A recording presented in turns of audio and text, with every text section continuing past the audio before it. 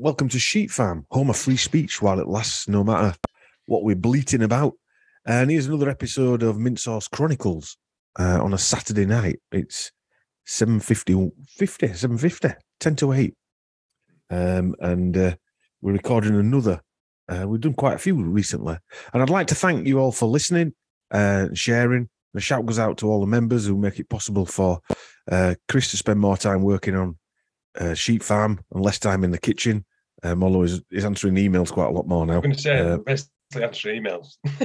Yeah, yeah. Uh, at the minute, but pay- yeah, pal uh, disputes. yeah. Um, behind, the scenes, we're looking at doing uh, a lot more. We're getting pestered for merchandise, so we, we, we're looking at um, setting up uh, an e-commerce shop. When I do stuff, I like to do it where we're we're sort of self-sustainable, if you like. Uh, and we're upgrading our sound quality for better better sounding productions. Uh, Chris has got another mic. Um, I'm going to get his computer upgraded with better sound cards and stuff like that.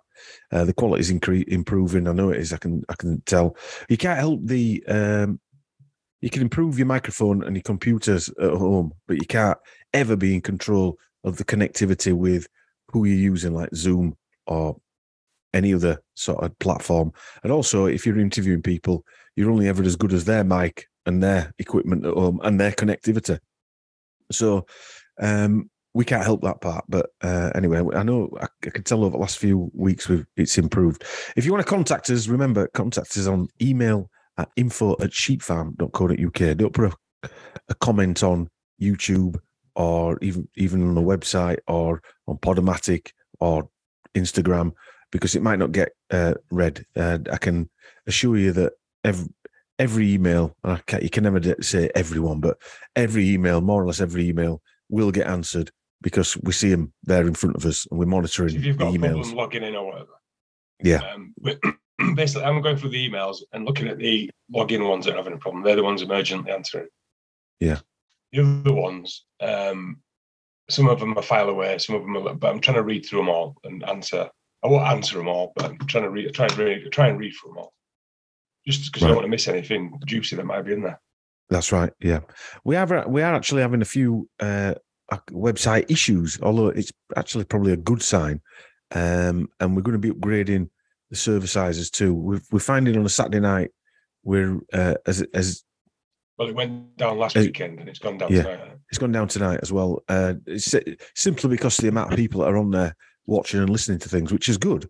But obviously, the more people that go on, uh, the bigger server sizes we need. So we're gonna we're gonna have to upgrade them. Uh, and so I thought it'd have been done this week, but I'll have to speak to the guys who do it for us. Maybe they have done it. Maybe there's even more people gone on. I don't know.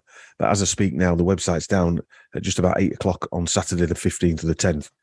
Um, I've also we've also got uh, Sheep Farm Studios two on YouTube, YouTube, and I've been putting a few uh, videos on there. I'm going to try and keep Sheep Farm Studios, the original one, away and just puts trailers on and maybe a few shows and the live shows and things like that, and just keep it nice and tidy on there. Um, and if you want to subscribe to Sheep Farm Studios too, uh, you can. There's a few videos on there, and I seem to be adding them out. I don't know, ten a week or something like that uh, when I get stuff sent through. Uh, this month, we've already produced four shows, Chris, um, which might indicate why the upsurging usage of the websites happened as well. Um, this will be also the looking fifth. at getting looking at getting comments back as well, aren't we? The reason we took comments off the website was because of terms and conditions, not for any other reason than that, really. Yeah, well, the, co- the comments are, are useful, although it just seems like another job to me. Uh, but it, it- we do need them because we need the interaction, really. You know, Yeah. and it'd be something else that Chris will, Chris will look at. But, But, what I mean terms is and conditions, yeah, get rid of them because we were like, oh, we don't want any comments. Yeah. It because you were worried about uh, the legal implications. legal. terms and implica- conditions. Well, the, the, again, the issue is that once you start things like this up, you end up having to have a, a slight corporate side to it, whether we like it or not, um, because you've got to obey by the rules and regulations. And But I uh, like the comment section because the comments on this website were totally different to the ones on the YouTube Hmm. channel. Different kind of people comment on uh, different kind of people, and there were a good interaction between when the show were released about Yeah. the subjects that were in there, etc. Um, yeah, there, were- there were better comments on there than on, on YouTube. Which is Um, different. I mean, a bit more in depth, a bit more uh, different kind of folk doing it, really. So I mean, we've done five shows already. This will be the fifth one, um, and it's the fifteenth. So we've done quite a lot of shows this week. Not even this month, it and it doesn't even feel like that's the benefit of the membership side, um, because it's freed a lot of my time up, which means I can produce more shows. Yeah. that that's the benefit. It's freed a lot of time up, um, just not just on my time, but Chris has been able to reduce his hours in in the kitchen. So again, that's what we're Well, doing. no, I mean, So- me reducing hours in the kitchen means me answering emails and doing some of the back house stuff that you don't have to think about. Exactly. Yeah. Um, Cool. We're also going to record uh, the last part of the Schwabian agenda, which might be in another week or so, but definitely by the end of the month. Uh, the last part, the Machiavellian parasite class. We did the first one. I did about two hours, just over two hours on that, about the uh, board of trustees, which will, yeah, be back end of this month. And I reckon that on its own will be another two or three hours long um, with some of these uh, critters that are in there. And yeah, so we'll have done five hours on the board of trustees then, which is a lot of uh, a lot of a lot of podcasting. Anyway, that sort of housekeeping updates over with. Uh, we're going to try and Kerber's uh, lingo, not necessarily bad language, but lingo. You know, you can swear as much as you want on YouTube; they don't care. But Yeah. you, you can't use disgusting, horrible things, but you can't Yeah, yeah. certain things. Yeah. You can watch people falling off the motorbikes and all sorts of stuff and getting into accidents. That's all right. Yeah. But um, so we'll try and get this on on uh, on YouTube for the first hour. Um, and Chris, I think you're just about to open another bottle of wine, aren't you? Or a bottle of wine. Yeah, I've actually had a glass of wine already because I just had my dinner with Right. um, Mrs. Nipper. But I've got a nice What? what which piss is it tonight? Pinot Taj Malbec. Right. Have you have you drunk that one that that uh, couple gave you when we went down to our treat? Yes. You've drunk it? I did, I did it the other night. Were it nice? was lovely. Yeah. It's a good job, really, Right. isn't it? Well, to be honest, I was in on my own. Mrs. had gone out, and I thought, you know what, I'm going to treat myself and have that nice bottle of wine.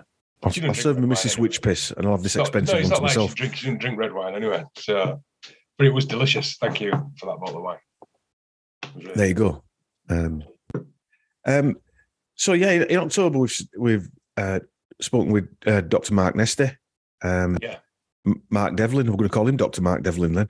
Dr. Um, Matt Devlin. yeah, Professor Matt. Lamman. Professor Matt Lamman. and uh, and His Royal Highness, Highness uh, Mark Majerski. Um, King, King Surgeon Matt Wojcicki. yeah, which I was going to just put live tonight, and obviously the, the back end's crashed down, so I can't do anything. So hopefully that'll be tomorrow when we do that. But I mean, you look at them four people we've seen there, and every one of them brings something different to Oh, the brilliant. table, Fantastic. um, and all of them bring some um, a different edge to Yeah. um, I think we're insight. gathering, we're gathering a little posse of um, other folks to talk to, aren't we? Yes, yeah, um, and yeah, from from Mark Devlin. I mean, th- this one with Mark Devlin were different because although he's released his book, we were having a different type of chat, and I quite I like that. Matt Lamman is always going to be lively, and in fact, Yeah. we're lining another one up hopefully with Matt Lamman. Well, we're discussing doing one with Matt about films, which would be fantastic. Um, Yeah. We're, we're already having a to and about it. It'll probably be a while down the line, but Yeah. that'd be great fun. I mean, it'd just be a bit of fun as well. Something different. Yeah. wouldn't it? A bit of Well, what we're going to do the we're gonna watch so they- whatever four or five, six films, two each or whatever uh, that we, and we'll just talk about those films. Yeah. uh, about wh- what what we think the predictive programming, etc., etc. Yeah. I might do a bit of background on who made the films and Yeah, yeah. uh, what have you. Um, and, That's uh, right, Miley. Yeah. Um, what we've got coming up in back in November, I think about 18th, we're going back on Rise Above. Um, Right. I've done quite a lot of research on um, because we're doing the research on um, the Machiavellian parasite class, the Schwabian agenda of the Board of Trustees. One of the members is Al Gore, and obviously the guys on Rise Above call it Al Gore Rhythm. And I just thought that it was quite a good one to do on their show because it's part of the Al Gore rhythm. Um, I haven't been on there for a while, so that I think it's 18th. That's going to be, I reckon. Um, I've done most of that um, research anyway now. Um, some quite interesting stuff actually on there, but anyway, we won't get into that now. One interesting piece of research that sort of fell into me. I can't say it fell into my lap, but Jacko sent me, like you did with Schwab when he sent me that video. Um, when he said we have infiltrated uh, the cabinets of the world, uh, and then it set me on a track to do all this research on World Economic Forum. Um, the one connection that I, I were really interested in and that was the, the Rothschild Schwab connection. And there's a lot of people, ah, oh, he's related, but I've never seen any evidence of this um, Schwab connection. And over the past year, I must have done, uh, since we did Schwab, the first one, up to this point, I've literally done, I must have done hundreds of hours at least. Uh, anyway, let's say tens of hours uh, researching World Economic Forum and Schwab. And I can sit here today and say that I'm now very confident that there is definitely a Rothschild Schwab genetic connection. Right. Yeah. Um, you can never say 100%, right? Because I weren't I weren't living in 1400s, but um, from what I've seen on the genealogy side, there's definitely a connection. Not only that, but he's also connected to uh, Karl Marx, who wrote the Communist Manifesto. Um, and he and Karl Marx is connected to the Rothschilds as well. And many other prominent families like the Warburgs of Jekyll Island Federal Reserve fame and the Oppenheimers family.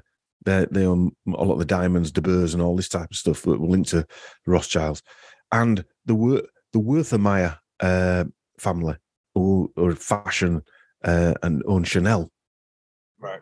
And so many of these other families, and there's many more uh, like that, uh, have got lineage within this connection, prominent connection. Uh, the lineage is from the the Bacharach name. Uh, this was the original Rothschild name. This information is from uh, numerous sources as well. That's why I'm quite confident that um, there is a link there. Um, it was from a research done called the Frankfurt Project, which was a genetic project where they were trying to find all these ancient uh, uh, Jewish lineages. Um, it weren't from like some bloody far right group or anything like that. This was actually um, from a, a, Jewish project. Yeah. Um, and also um, a genetic researcher called Rachel Unkefer or Unkefer. Uh, she's she's sort of like an expert in obviously genealogy, and she's done a lot of research. These people aren't conspiracy researchers. They're not trying to dig up something to go, ha ha, we found it. Um, they're like the quite mainstream academia findings. Right. So that's why it's that's why it's interesting. But for a quick overview, the lineage goes back to early 1400s, um, 1414, around that time to be precise. And a guy called Rabbi Man Bacharach, and Man is is actually changed for Ben. So that that we hear that a lot in uh, uh, Jewish names. Um, and from there, Rabbi Abraham Bacharach in the late 1400s, the living Schwab, Klaus Schwab, and the living Rothschild, like say Evelyn de Rothschild, they have a common grandfather 15 generations ago called Rabbi Menachem Man Bacharach around 1395. Right. Right. You can't get much clearer than that. Yeah. Rabbi Abraham's Abraham's son was Rabbi Shmuel Schwab. Therefore, all subsequent Schwabs have a common Bacharach Rothschild bloodline. Right. Ding dong. Yeah, ding a ling dong.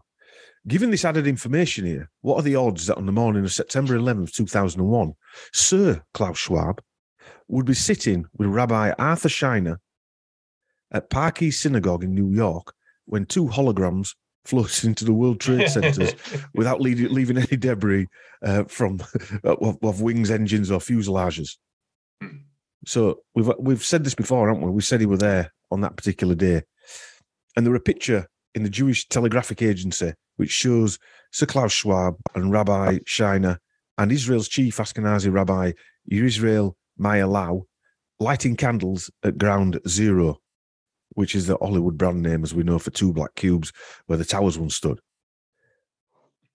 Now we know probably why this picture and why he's there with these guys and why it's significant.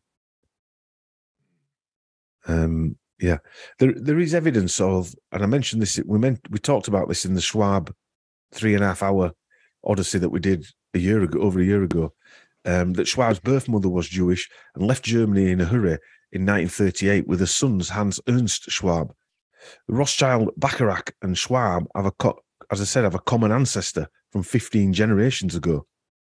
Schwab's earliest ancestor from Basel in Switzerland, and Basel is where know them that tower, them triangle from Roche Pharmaceuticals. I told you.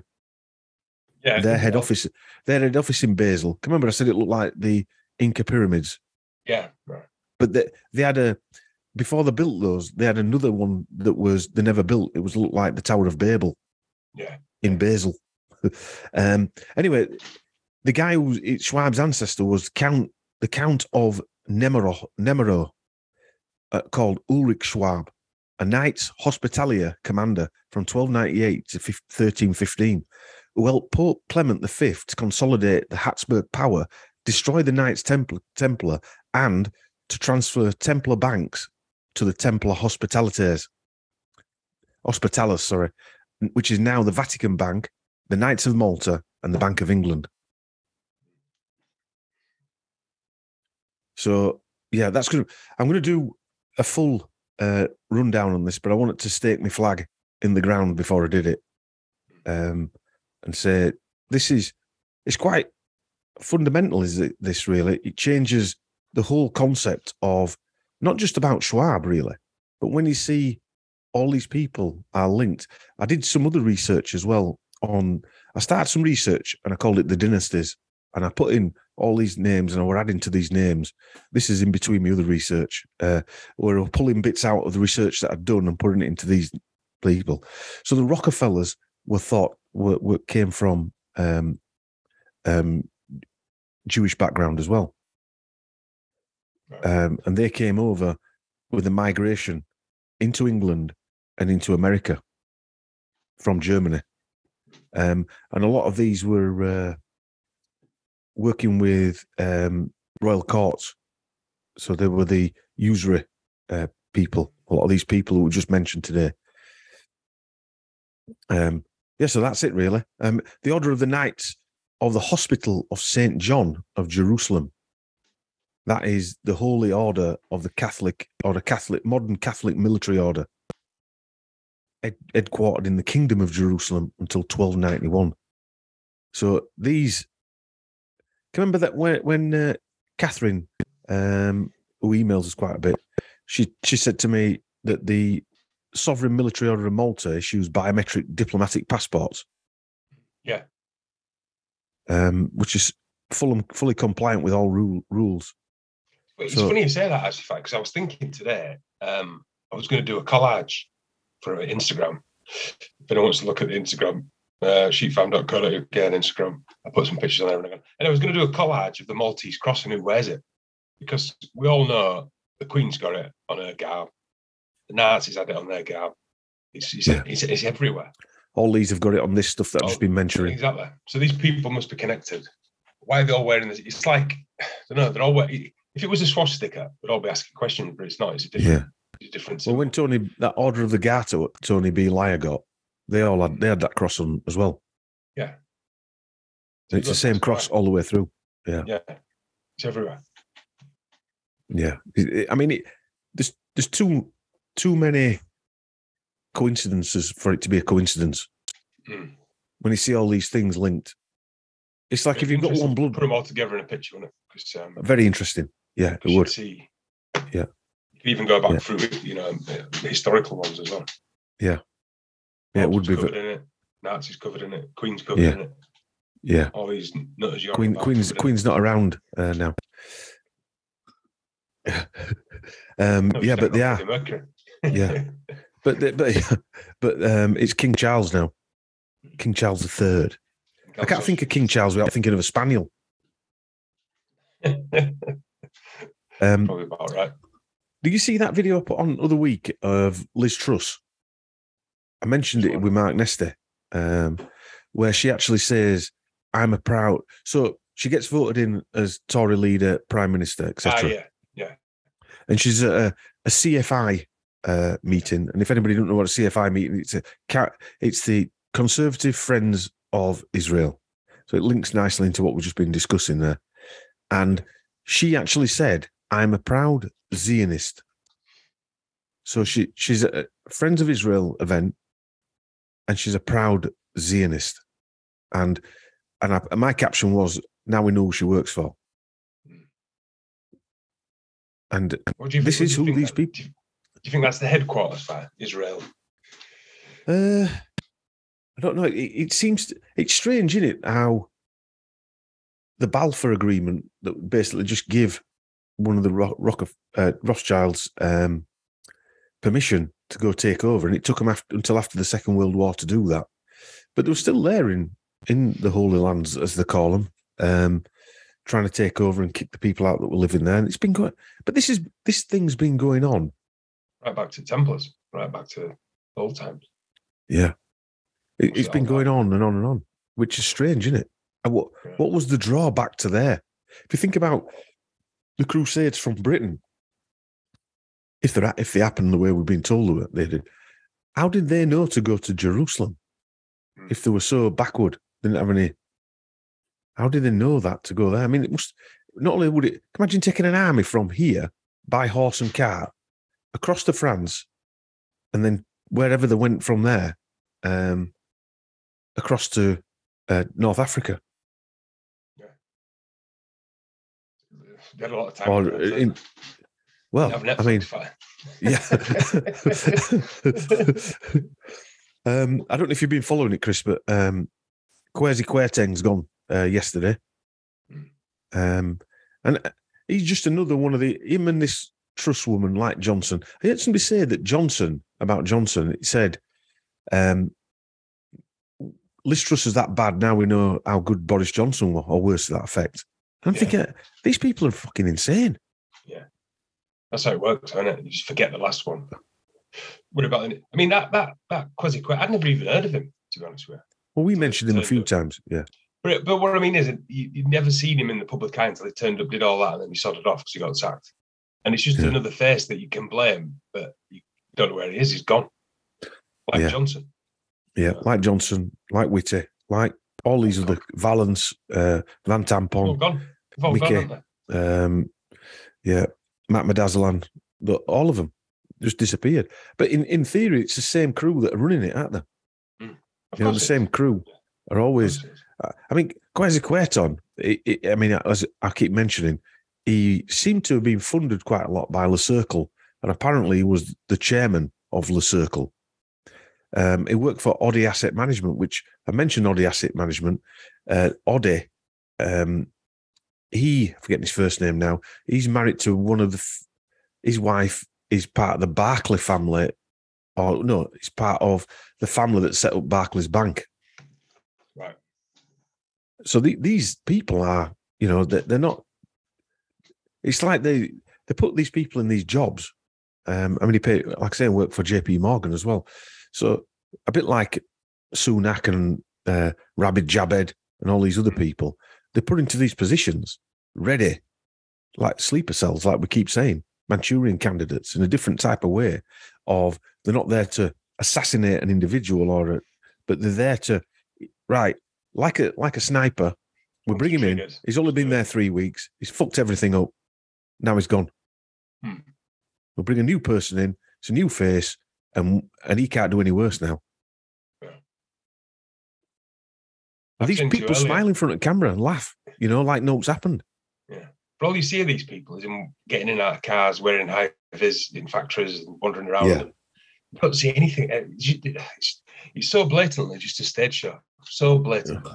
It is, yeah, it is, it is. Now we've. Now, Jeremy Hunt, yeah, I said Hunt.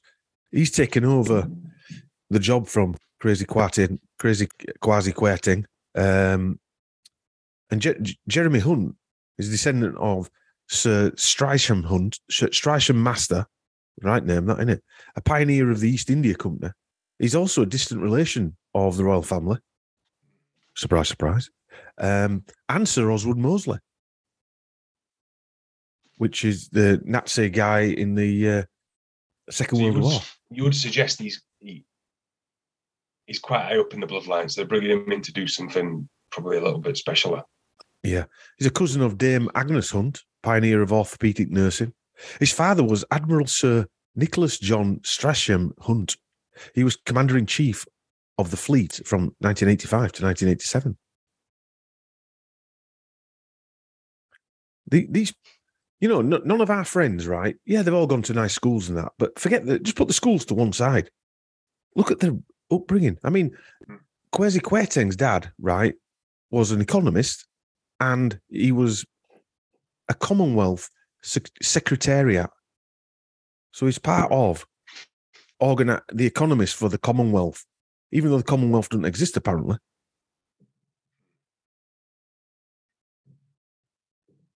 That- That's who these people are. You know, it, it, it goes beyond nepotism, doesn't it? For all, I mean, Kwesi Kwarteng's a black guy, and I think they're from Ghana, his family. Ghana was heavily used in for for years and years and years. We don't know what is. If you look at Condoleezza Rice, and she's fifty percent uh, white or twenty five uh, more than she's more white than she's black, for argument's sake, right? How do we know what Kwesi Kwarteng is and what his ancestry is? Yeah. Well, it takes a couple of generations, doesn't it? To It takes a couple of generations to to snuff it out. We don't know whether, um, and I'm not saying he is, but let's just hypothesize for a second that he's got a royal bloodline. We don't know that. No. One of them It's, illegitimate royal only two, it's, only, it's only two generations when you can take someone from white to black or vice versa. But again, comes mum was half black and she looked Yeah. black. yeah, she did. Yeah, yeah. I mean, we're we're we're only 25%. twenty five spook, and we're Yeah. quite dark. I mean, your nostrils are massive, so I can't even see your face. no, that's not my face. That's a pair of binoculars. Um, um, yeah, so yeah, I think it is definitely. Gi- Uh, given the genealogy that I've just found with uh, Schwab and that links all that stuff back, Hmm. nothing would surprise us anymore that these people have got some sort of link there. Hmm. And and the irony is when you're searching for these links, right, they close them off. So I'll use a scenario. One of the systems that I uh, use is called uh, Geni, ironically. Yeah. Um, G N I. And that was started. I forget the guy's name now, but he was one of the PayPal mafia. Yeah. So he's one. He's one of the guys that um, made money out of PayPal, who are now uh, silencing everybody, and he now owns this company that you can do genetic searches on. So we know what's going to happen there, don't we? Or what's happening. You get to a certain point and you can't go any further because it's closed off. It says private, or it something happens there, and that's when you know that there's something they're hiding.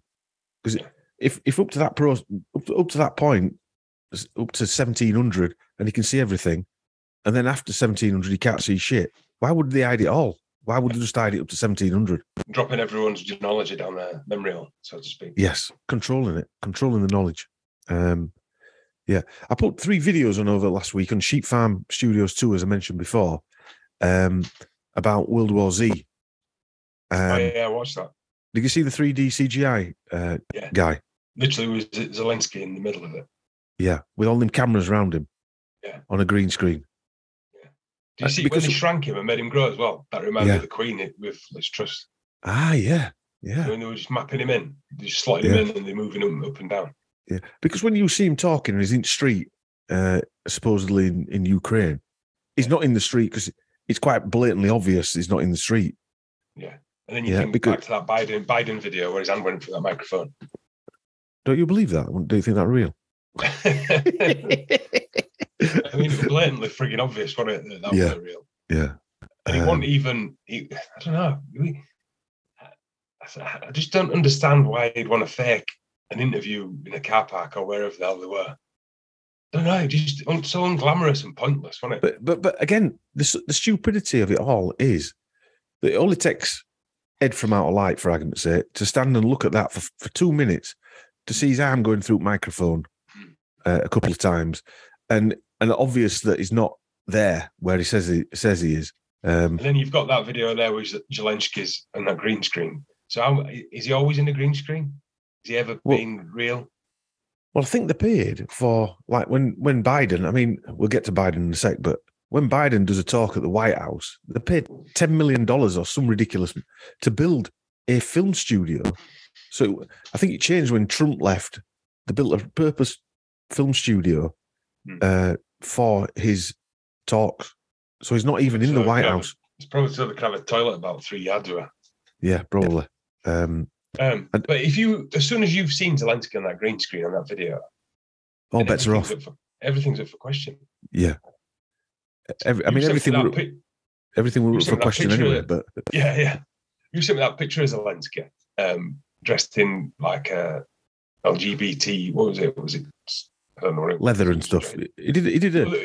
He was did a dre- He video. was dressed, he was dressed in drag basically, and I put it on our Instagram, and it got deleted. And he said, "This is not this. This photo has been tampered with. It's not a real photo." But why delete it? If you put if you put a picture of me on there in drag, uh, and it had been, um, Yeah, a fancy dress party or something like or, that. or if it had been photoshopped, they wouldn't delete it, would they? And say this isn't a real Yeah. photo. Why did they delete that picture?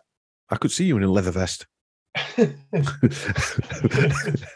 So it's own fabric. I, don't, I wouldn't. yeah, yeah. what about suede? I definitely wear a suede one. yeah, um, yeah. It, it, well, as soon as you see Zelensky, right, and you you look at his background, that he owned a production company, he's an actor, he played president, yada yada yada also, yada. when you when you think about it, right? I know this sounds stupid, but well, it doesn't sound stupid, but you would get an actor, wouldn't you? Because if if he's acting those parts out, those scripts that are telling him, he'd do a better job. And I don't just I know it's obvious to say that he reads a script better, but experience with green screen, stand over there, do this, do that. You know, it just make- it quicker and smoother and get Yes. someone else in, Yeah.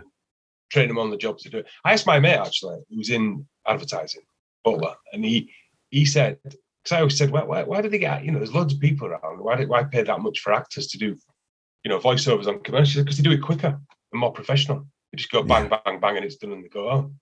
Whereas if Yeah. you got us in there doing bungling around, do it a bit, you know, do it a bit more passion, a bit less passion, a bit more, you'd be there all day. Yeah, Those guys just go in and just bang it out in no time. Yeah. And that, Yeah. that's what it looked like when I saw the Zelensky thing. He was there. He knew what he was doing. He was stood like this. You know, Do you know what I mean? You, you could- Yeah. see, you could see he, why. he stood with that. Well, when you see him doing them, you see him with that blonde wig on and stuff like that, uh, and he's joking around and doing dressed as a tranny and all this type of stuff. Um, he's trying to be natural doing that, but you can tell he's acting. And then because he's not a fun, he, he probably ain't a funny bloke, right? Well, He's now trying you too look at hard. him now, yeah, when you look at him now, every picture you see, he's got that like stern look Scowl. because he's Yeah. so serious and you know, that quiet, brooding, uh, you know, guy on his own against the world kind of Yeah. thing. yeah, He- He's clearly bullshitting it. And the No, fact that you got Sean Penn, do you remember when it all first kicked off? Sean Penn was miraculously in he Ukraine. does look similar to Sean Penn, though, doesn't he? You got Sean Penn to me, right? Looks if you put a blue rinse wig on him, he looks like an old woman. But he does look similar to Sean Penn, doesn't he? He's got a similar look to Sean Penn. Yeah. Not exactly like him, but he does look. It makes you wonder whether they were topping his acting skills up. What, getting Sean Penn over there to give him some Yeah. pointers? Yeah.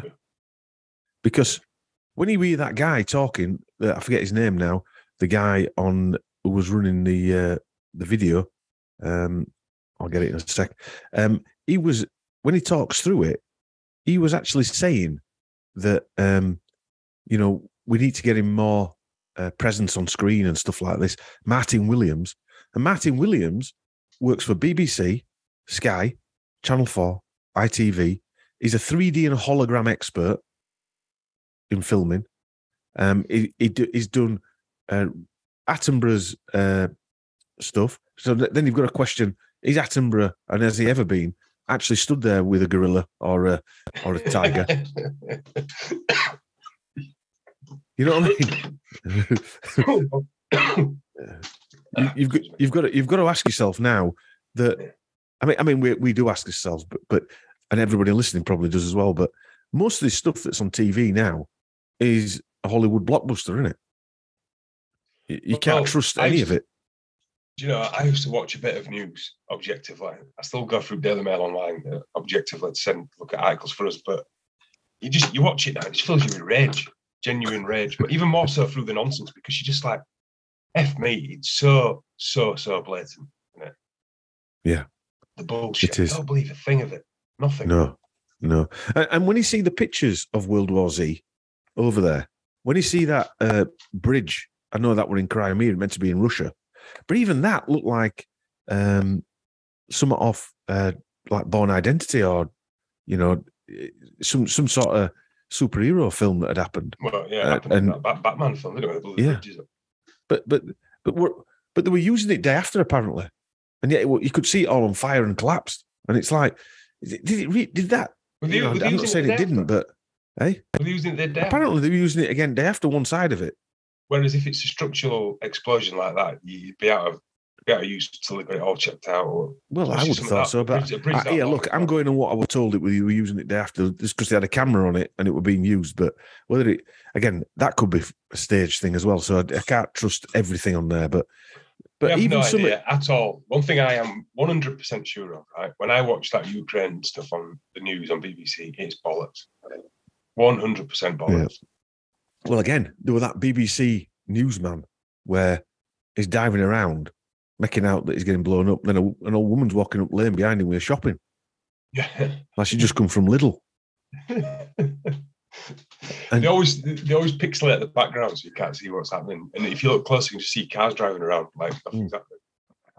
But any all them films look like it, it's sort of like a, a an Hollywood blockbuster blowing blowing a, a a skyscraper up that Ryan Reynolds is in or someone like that. Yeah. One- it looks like one of those films. But like I always say, they other than the rusty tanks, the the bricks just look like they've been there for six months, don't they? And the rest. You know, when they when yeah, Yeah. and the rest. But you know, when they say it's got you know bombed by Russians yesterday, yeah. it just looks like bollocks to me.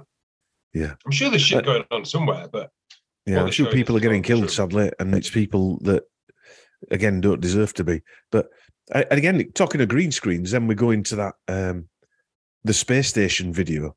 Um when them two women were talking about hair. that's, that's weird as hell. That is. Yeah, it's strange. I need to check the backgrounds of them two just to make sure What that, are they they, that were real, that as in re- a real fake, but a Right, right. real. Uh, uh, they were really astronauts um, right.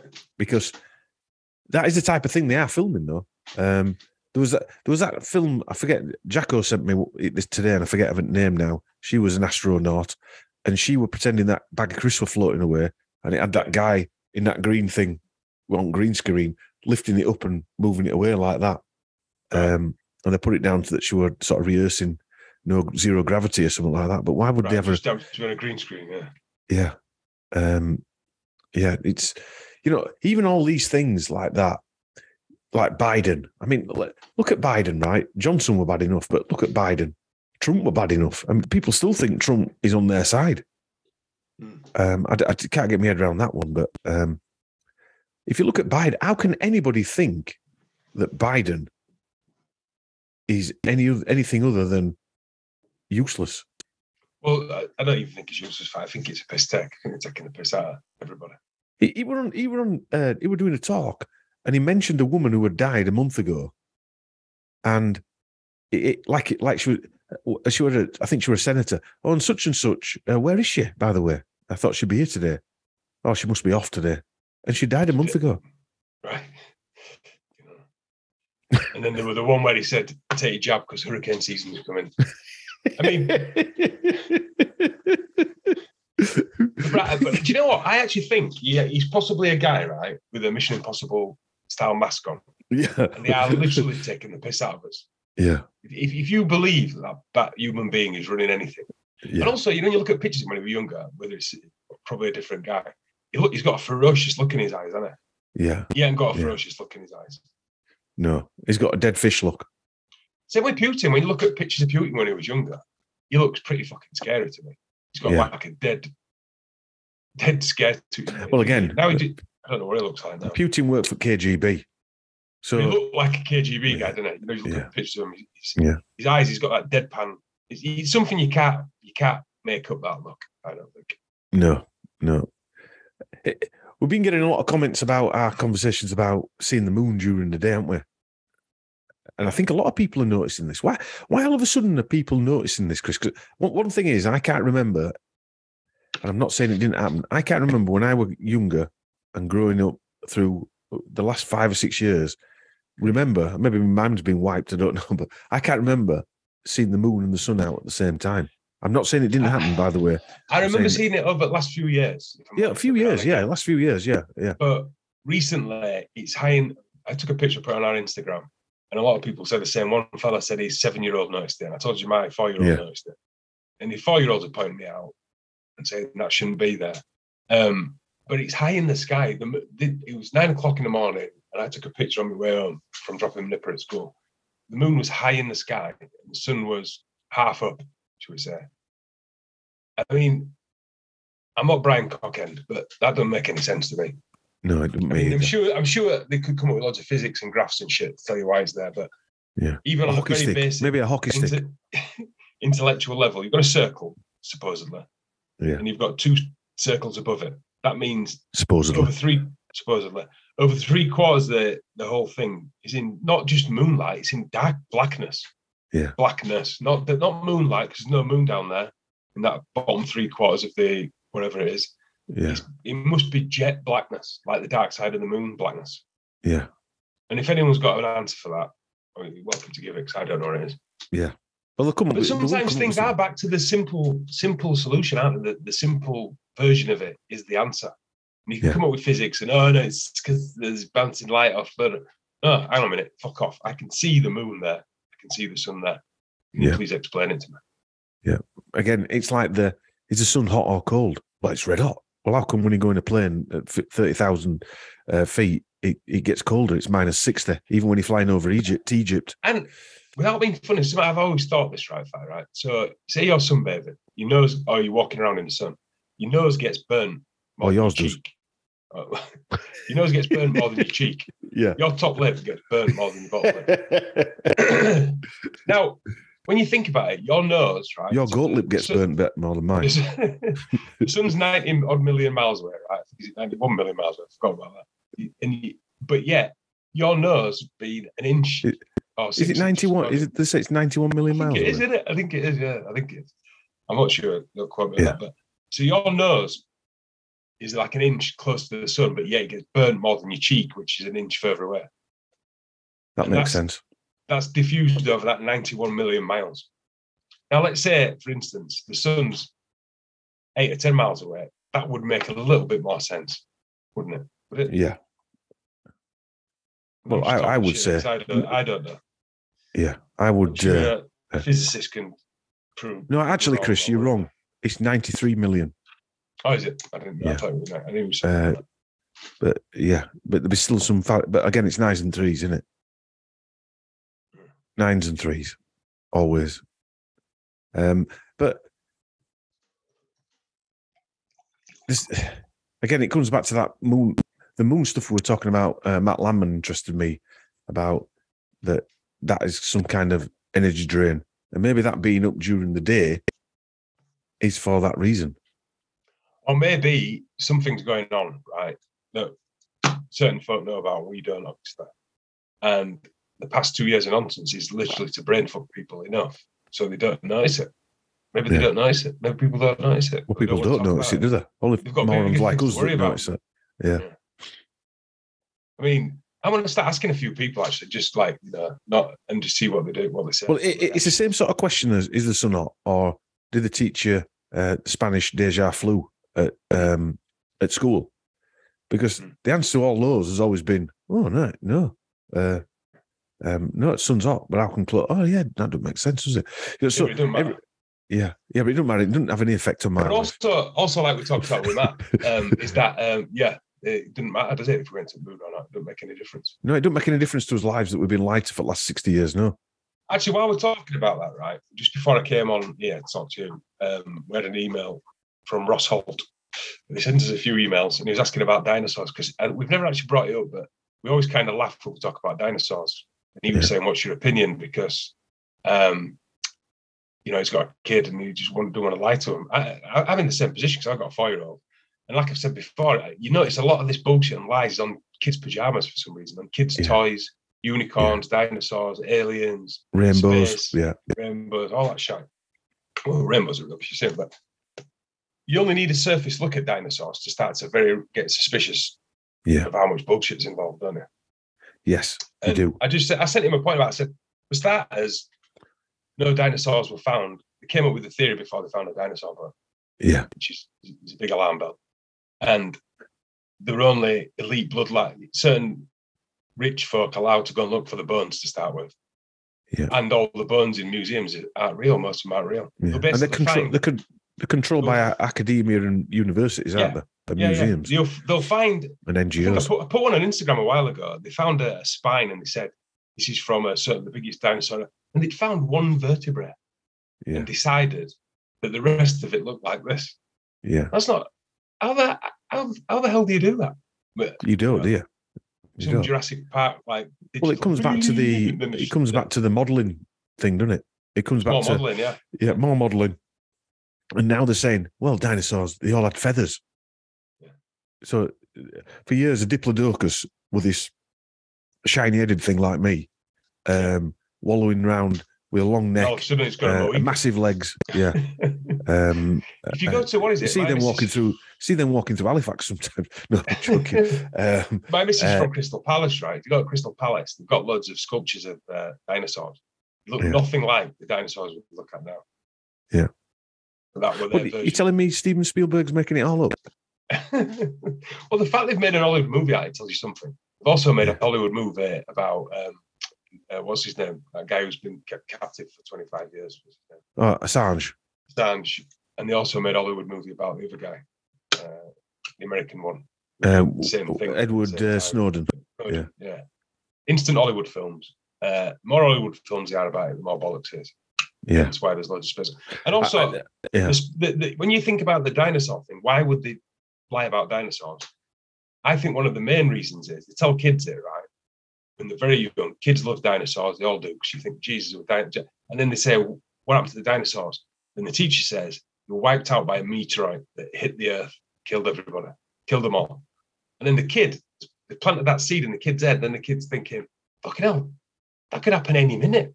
I mean, And then Any when they see Bruce Willis and Ben Affleck, yeah. yeah, And then it's, uh, you've been fed it more and more as you get older and older and Yeah. older. And I would not be surprised if that. I mean, they've just done that dart thing where they shot off that meteorite and sent it on, another course. We could, they've literally done the Bruce Willis uh, yeah. asteroid experiment. I shouldn't think drive that Tesla into it. Just knock it off course should a bit. Knock it off course with a Tesla. With Yeah. Musk in it. But, But um, I mean, uh, yeah, going back to dinosaurs, they haven't found a full skeleton for a start. Um, that's always an I think the, alarm the ones they have found. What did they think are- though? Uh, that most of the skeleton So- just walked off in a different direction.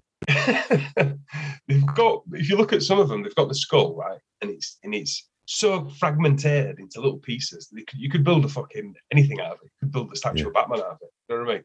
Tiny little pieces, and they just stuck it together how they want. Well, The alarm, the alarm, alarm for me is that in the mid 1850s, a lot of things all of a sudden materialized. They found dinosaurs, or they came up with the idea of dinosaurs. They found, uh, uh, obviously, there were Darwin's uh, nonsense. Um, there were genetics. There were like, well, it's like all the chemicals, Stopped. and It's like history stopped and then was restarted, almost like Yeah. some kind of re, re, Yeah. reinvention reset. or reset. yeah, dare we say? it. But d- dinosaurs are, are part of that uh, genetics thing as well, where you know they, they were a weaker sort, so they got wiped out. We're the stronger ones. We were, you, know, it, it all fits into this that side of it as well. And why have they And also, never uh, found? but- if they laid eggs, why haven't they found any eggs? And so they can open them up and find a baby dinosaur in it. Petrified eggs. Yeah, why haven't they found any of them? Why haven't they found? Why, Go on, why sorry. just digging up bones left, right, and centre day in, Yeah. day out? Are you telling me there are only Find three your back garden. dinosaurs? Yeah. Why do they Um, find a new one every year? Uh, T Rex was the biggest thing. They found three of the bigger ones. No, they found that other one. What, what other one they found? Gigantosaur. Yeah, and uh, I mean, my youngest, he were into dinosaurs. So going back to what Ro- what Ross was saying, Hmm. um, used to ship me up. But going back to what Ross was saying, um, I nearly married one at one point. Uh, That's another story, and a long time ago. a long, long Uh, time ago. Yeah, a long, long time in, a, ago. in a land far, far away. Yeah, in a land of time had forgot. in, in in Birstall in Batley. eye for an eye, I like that one. Um, where were I? Uh, yeah. Anyway, the narrative seems like it's been invented Hmm. to me. The whole And like you say, around the same period as the Darwin bullshit. Um, yeah. Well, do you know one of the pro- protagonists protagonists of um, dinosaurs was Uh, uh, Thomas Huxley, right, yeah, yeah, yeah. um, of uh, the grandfather of Aldous Huxley. So he came up with the flying dinosaur right. um, hypothesis, among other stuff as well. Yeah. And so you've got, and he was the mentor of H.G. Wells. Mm. Um, so you know, all of these things you've got. You're looking at it, and it's like the right. Let, how do we write rewrite history? Right, we're coming up with dinosaurs. You know, like would they've never. You know, they, they had more technology in 1850s to find these dinosaurs or 1800s or whatever it was. Pyramids were again that was another one. Um, Mm. But anyway, yeah. So, and and th- there was a there was a guy, wasn't there? I forget his name now. But he basically invented the concept of dinosaurs. Forget who it was now. We're an academic anyway. Yeah. Forget who it was. Uh, the man who invented dinosaurs or something like that, or came up with it. I don't think that was his name. Mad, mad looking guy with uh, mad dog bollock eyes. Anyway, talking of dinosaurs and fossils, um, I, I put a few videos on of uh, Just Stop Oil, All right. um, which seems to have popped up. These silly twats who are gluing themselves to uh, walls and sitting in the road with Ivy's plastic jackets on, Chris. Ivy's plastic jackets, you know. Uh, yeah, they're noticed them ones out of Costa threw- coffee cups. Yeah. those those who threw the, the soup at the uh, Van Gogh. I noticed that Yeah. Van Gogh had a um, well, it was in a glass frame. I'm Yeah. pretty. I, I, I might I might be wrong, but I'm pretty sure they're not in glass frames most of the time, Right. which would Right. have protected it from the soup. And also, when you watch that video, you see it like that last time it happened. You see at least, at least some of them have just got the uh, camera phones, but you see at least two or three professional camera men there, don't you? One with Yeah. a big boom mic. So you're making sure he gets what that stupid bird says. Then they glue their hands to the wall. Just leave them there. Walk Yeah, away. leave them there Take for the a month. Gogh- Yeah. Take the Van Goghs off the wall.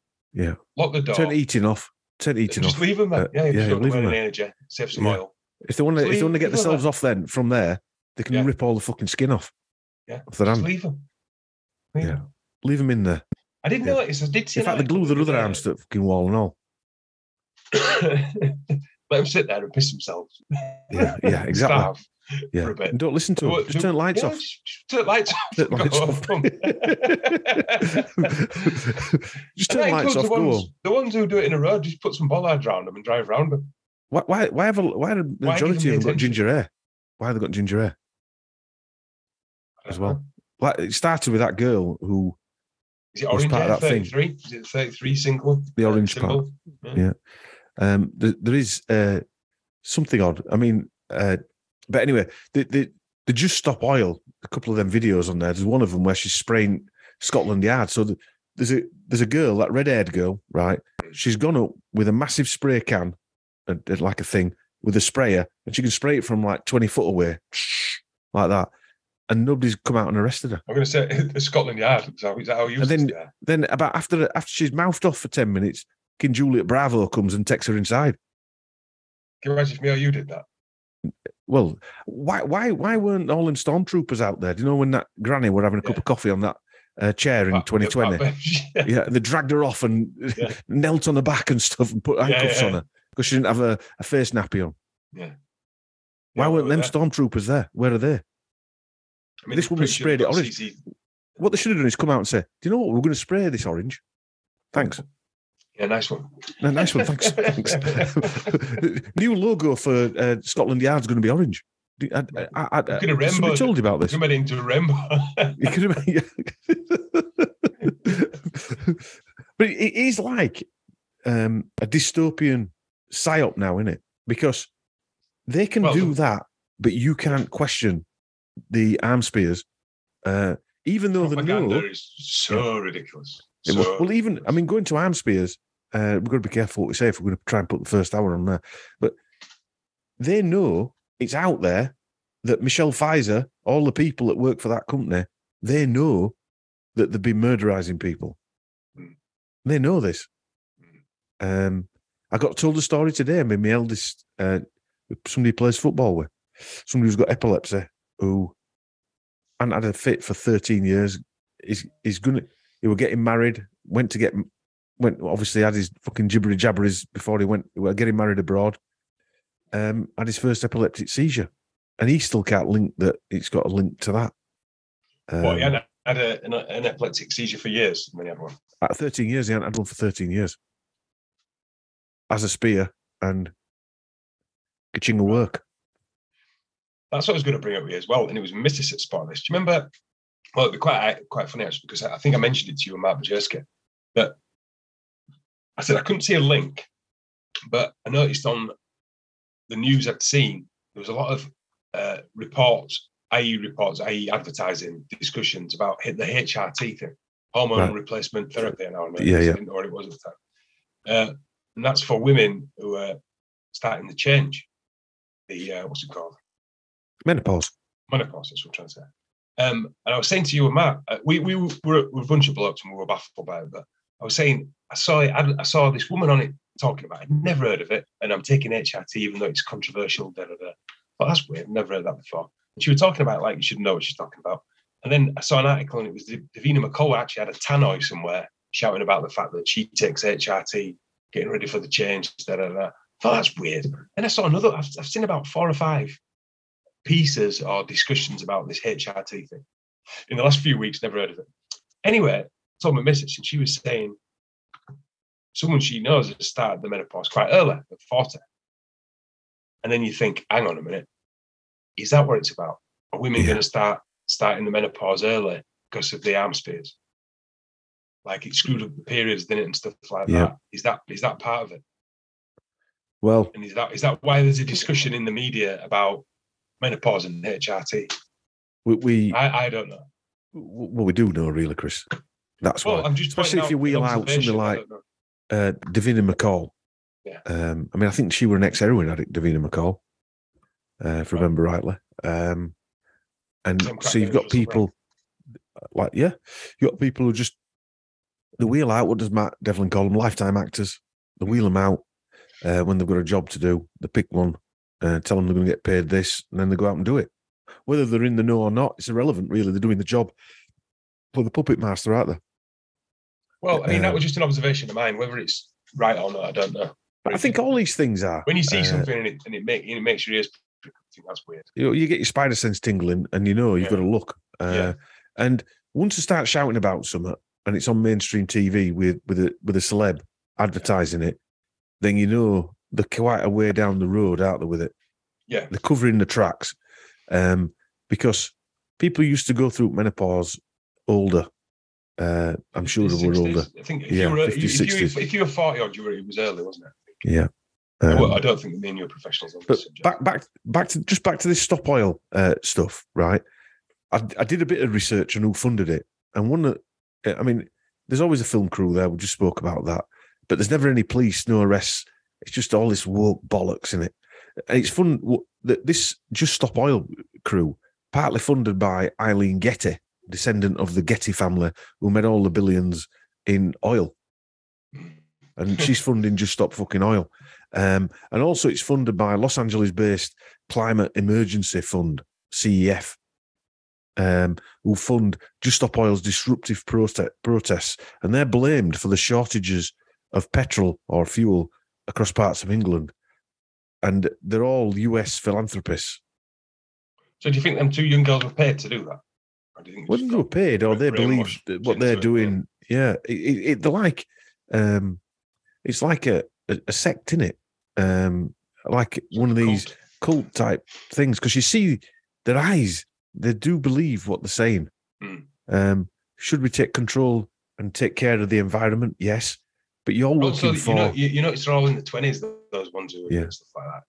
People get righteous when they're in the twenties. You know, I, I don't know chris because some of these these knobheads that were sat in road that people were pulling off and throwing onto curb Right. Yeah, they're like the older end ones, aren't they? yeah they were they, older they believe ones. what they're doing, don't they? They're, men, Mm. they're they're all they're all nuts man and and should we take more care of planet whatever it is plane whatever it is I, I said planet then uh yes we all know that there's no problem with that nobody i don't think anybody with a Mm. brain's got an issue with saying we should recycle a few bits and bobs here and there Uh, but we, we didn't en- invent mcdonald's and all this other shite um not that i go there but the ceo of the climate emergency fund is a woman called Margaret Klein Salamon wonder what background she might be.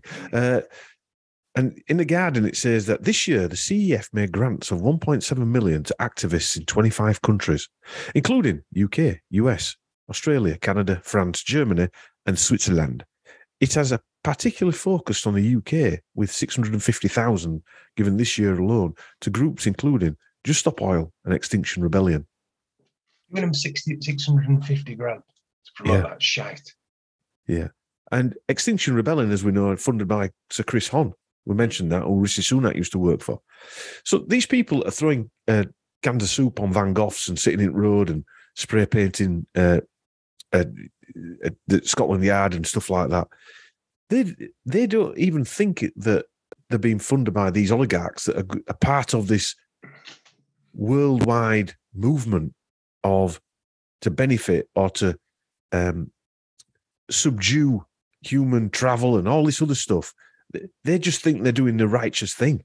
Yeah. And by doing a righteous thing, they're actually send, putting us all down plug hole. They're not fucking thinking about it, are they? They're not thinking about what they're doing. Well, they're not because they, you look at their eyes and they're just, they've gone. They've gone. This, I did this- notice this- one of those girls who was glued Yeah. himself to that wall. I did notice there was some more pictures of it at other protests. Pretty Yeah. well taken pictures as well. Yeah. You know, getting Yeah. carried off by a copper and stuff. But again, it, goes back to that, uh, you know, like CND stuff that were outside all them American bases in eighties that we used to see. Uh, Yeah. and American, I think Americans were beaming them, weren't they? A lot of them died from uh, radiation poisoning because they were getting beamed on uh, when they Oh, really? were protesting outside. Anyway, another story. But then people believed in. Imagine if there's imagine right, like dinosaurs. Is there any nuclear weapons? I, I I'm coming to Yeah. more realization that there isn't any. Right.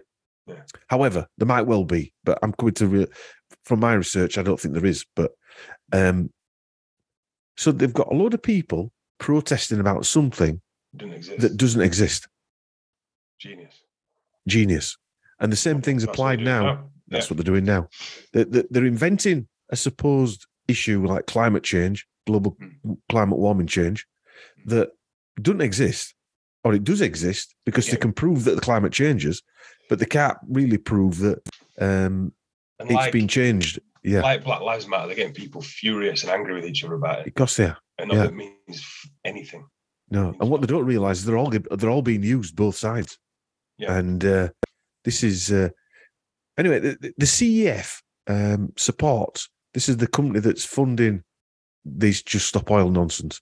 Supports only non-violent legal activities that reinforce the goal of constructively building public pressure and demanding urgent action from governments and corporations to address the global climate warming change emergency. It's a shame we didn't So- have, there's not, not all that money behind the uh, marches and the lockdowns and shit like that. Right? Oh no, nobody give anybody money for that. I mean, you can have thousands, tens of thousands of people outside BBC and not even appear on a BBC news program.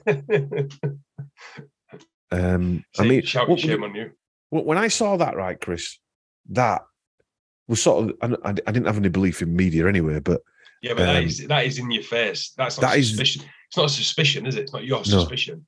That is in front of your eyes. that that drains the bucket. You know that that drains the bath. That's everything's gone now. Your credibility is zero.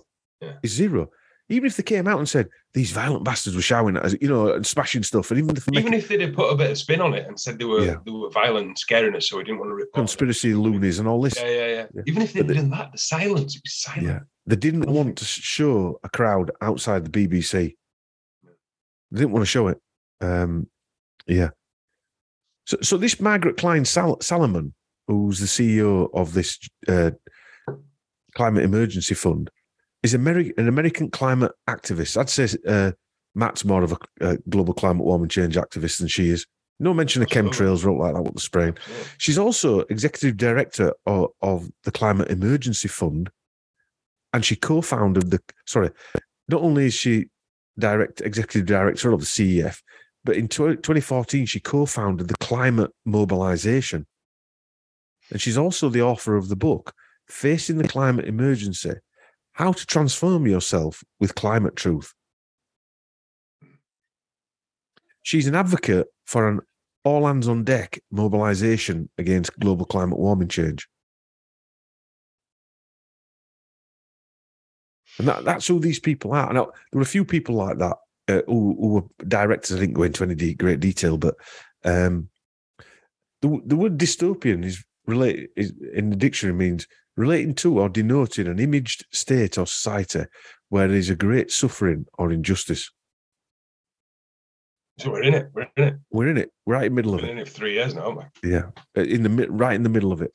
Um, I, I saw, I saw something in America also- the other day where there's that much crime now that where dy- dystopia really is where the police won't protect you, but you can't protect yourself. Just like the medical system won't help you when you're ill, like we know, like it's- what they told us. it's op- But you can't help yourself, or you're a conspiracy theorist and a, and a denier of uh, modern Or medicine. the, the, the, the, all media's lying to you, but you're Yeah. not allowed to say anything.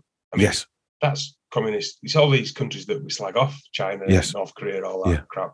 Yeah. Uh, But, but the Yeah. thing is, you couldn't get into the middle of dystopia and know it, could you? Because that'd give the game away. You'd have to Yes. be eased into it slowly, like we have. Yeah. With a little bit of a Mm. shock and then a little bit of ease off and a bit of a shock. Yeah. But yeah, that describes everything, like everything dystopian there is. All, all the, they're trying to strip all the joy away from doing anything, even now. anything. And that Jeremy Hunt, who uh, has just taken over as Chancellor, I saw him on a video today uh, singing uh, love to uh, all the countries that clamp down hard on the Divok. Um, they're the ones he said that got out got out quicker, like China, where they were just. He said he knew someday she landed in China, tested positive. They put her in uh, a room, sealed it all, just fed her through an hole, Right. and that's how they treated it, and that's how they got out. That's why they got out of it quicker. And he said, "I'm not saying that's where we want to go. Right. What are you saying then, you prick? Yeah, why don't you say that that were out of order for a fucking cold? Why didn't you just say that, you fucking prick? Now he's Chancellor at Excuse- Exchequer. ex- Excuse my French. Yeah, now he's Chancellor at Exchequer. Fucking weasel. Yeah, Little rat boy weasel. yeah. You should see video. I'll put it up on YouTube. It's uh, um, yeah. It, it, it, that, that's who these that, people that are. crazy bastard. Like one of the, that, that is one of the crazy bastards running this country. Yes, following orders, following the orders. Yeah. Um, and also, when you think about it, he's the he's he's the guy with the bloodline to the royal family. He's the guy we talked about at the beginning of this. Yeah. And he's saying things like this. I mean, these are dangerous talk, isn't it? It's dangerous talk because we're as as uh, Icke says, the the the tiptoe, the totalitarian tiptoe, where it is like that nudge. Uh, Well, like, well, like, well, like you just said, fight. You just described dystopia. We are in. We've been in dystopia for three years. Yeah. We already probably were just a, a mild version Yeah. of it, but we Yeah. literally have been locked in our or told not to leave our houses. yes. That's it. It doesn't matter how you get there. It doesn't matter if, No. if you say that you walk outside and you're going to get nuclear radiation, or whatever. It doesn't matter how you get to that point. But as soon as someone's telling you you can't leave your house, you're in a fucking dystopia. Don't- Yes. Don't, End of. don't delude yourself. yeah don't don't delude delude yourself yourself at all um but yeah uh so Then you've got there you go. psychos like that saying you should be taped into a room.